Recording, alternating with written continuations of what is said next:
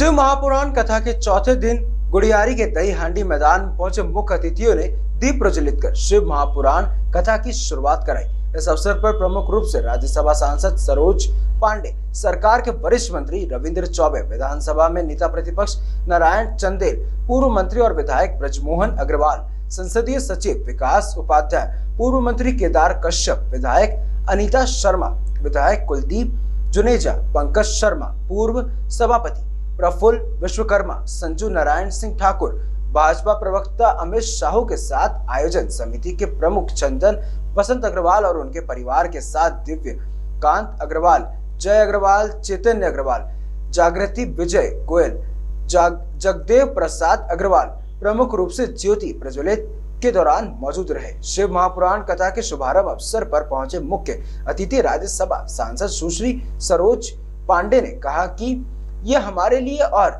यहाँ पर मौजूद सभी भक्तों के लिए और प्रदेश की जनता के लिए किस्मत की बात है कि शिव महापुराण की कथा छत्तीसगढ़ की राजधानी रायपुर में हो रही है। उन्होंने आयोजक परिवार को बधाई देते हुए साधुवाद दिया।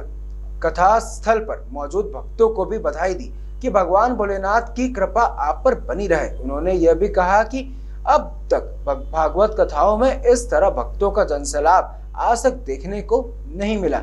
यह पहली बार है जब भक्तों का इतना विशाल मेला इस रायपुर स्थित गुड़ियारी के धरती पर लगा है। छत्तीसगढ़ की यह धरती धन्य है और हम लोग जो छत्तीसगढ़ में हैं, हम भी आज धन्य हो गए हैं। भगवान भोलेनाथ की कृपा हम सभी पर बनी रहे।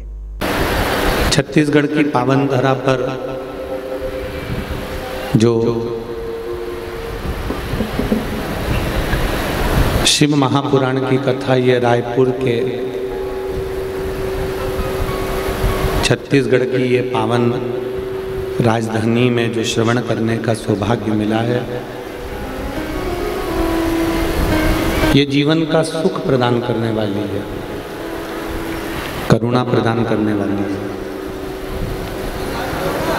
तेरी कृपा बिना न हिले एक भी अणु लेते हैं श्वास तेरी कृपा से तन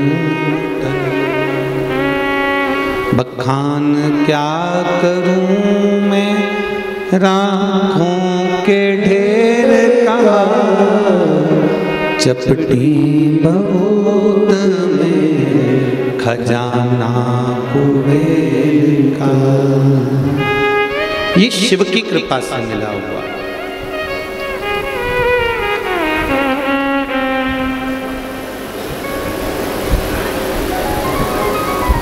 अभी माननीय राज्यसभा सांसद महोदय कह रही थी कि रायपुर के छत्तीसगढ़ के इस पुण्यमय भूमि पर, इस आनंदमय भूमि पर सर्वस्व शिव है और उस शिव को पाने के लिए हम रायपुर की इस धरा पर विराजमान है।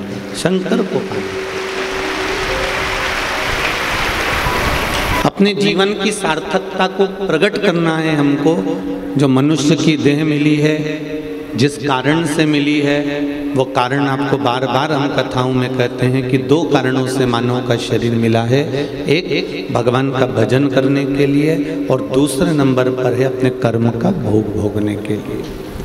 ये दो कारण हमारे जीवन में हैं और इन दोनों कारणों से हमें जो मानव की देह मिली है इस मानव की देह को हमें परमात्मा की भक्ति के साथ में अपना कर्म करते हुए अपने कर्म से हमको पीछे नहीं हटना है।